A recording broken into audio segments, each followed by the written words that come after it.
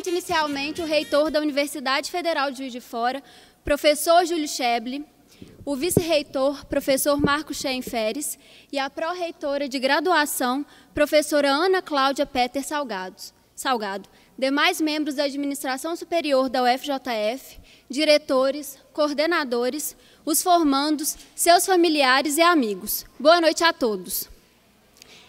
Eis que chegamos ao dia tão esperado e sonhado. E é com muita alegria e entusiasmo que celebramos hoje essa grande conquista. Agradeço por terem me concedido a honra incomensurável de falar essa noite e pelo privilégio de fazer parte com todos vocês da turma de formandos 2015 da Universidade Federal de Juiz de Fora. Cada um de nós formandos sabe o sabor único que essa vitória possui e sabe também dos obstáculos enfrentados por cada um para estar aqui. Seria pretensão minha querer ser porta-voz de cada um de vocês com seus sonhos, lutas, desafios e vitórias. Espero, no entanto, expressar, mesmo que infimamente, a felicidade que sentimos. Felicidade esta que não é só nossa, mas de todas as pessoas que, direta ou indiretamente, contribuíram para que esse sonho se tornasse realidade. Deixo aqui, então, os meus sinceros agradecimentos aos mestres, pais, amigos e colegas, funcionários e pacientes. As lembranças ainda estão frescas e vivas. O primeiro dia como universitários, o convívio, di convívio diário, as festas, as provas e as, aquelas conversas de corredor e cantina, tão despretensiosas, mas ainda assim tão enriquecedoras. Muitas foram as pessoas que cruzaram nosso caminho ao longo desses anos. E cada uma delas pôde agregar ensinamentos e sabedoria a essa trajetória que culmina nesta celebração. Encerramos um ciclo fundamental de nossas vidas, mas também abrimos novos caminhos e esperanças para os anos que se seguirão. Fazemos parte de um seleto grupo de cidadãos brasileiros que tiveram a oportunidade de se graduar em uma instituição federal de ensino. E o orgulho por isso nos transborda do peito e dos olhos.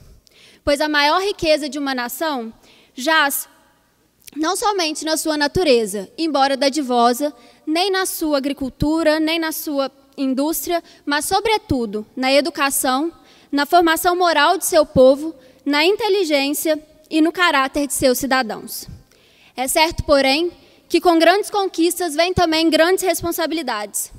Mas sei que estamos preparados com a vasta gama de conhecimentos teóricos, práticos e humanos para enfrentarmos os desafios que se assomarão, e eles não serão poucos.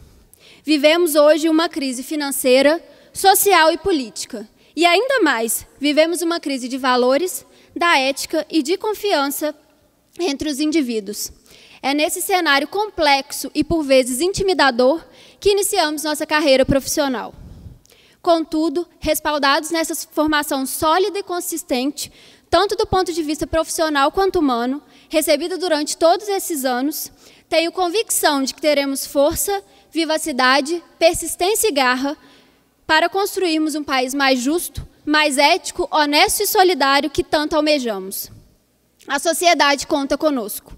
Viemos de uma universidade pública, gratuita e com ensino de excelência, e por isso devemos honrar e valorizar o nome e a história dessa instituição. E qual seria a melhor forma se não oferecendo nosso trabalho com respeito e qualidade à população brasileira? Acredito que todos, individualmente, teremos grandes oportunidades de colocar isso em prática. E mais ainda, enquanto profissionais de áreas afins, tendo a saúde como nosso norte, teremos muitas oportunidades de juntos agregarmos saberes, experiências que engrandecerão nossa prática profissional e nos permitirão enxergar o ser humano de uma forma mais ampla e integrada. Para concluir, Saramago, em seu livro Ensaio sobre a Cegueira, nos atenta para a responsabilidade de ter olhos quando os outros os perderam.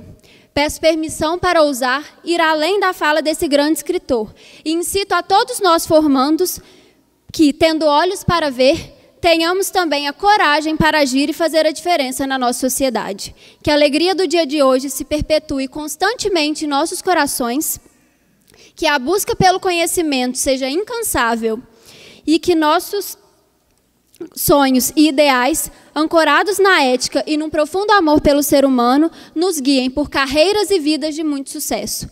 Boa noite a todos e obrigado.